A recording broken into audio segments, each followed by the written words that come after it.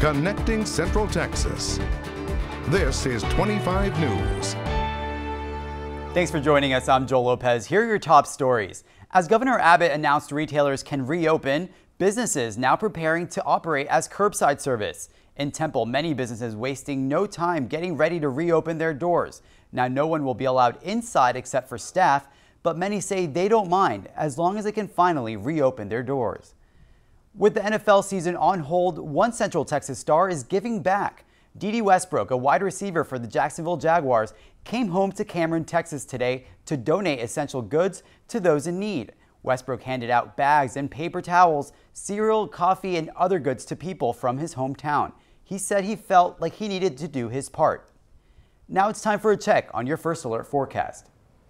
We're going to be watching for the chance of some fog overnight, but as we head on into our Sunday, some storms will be greeting us as we wake up and lasting up until about noon, but eventually that does clear the area. Breezy conditions do continue though. High temperatures will be in the 80s. Connect with us online at kxxv.com and the 25 News mobile app.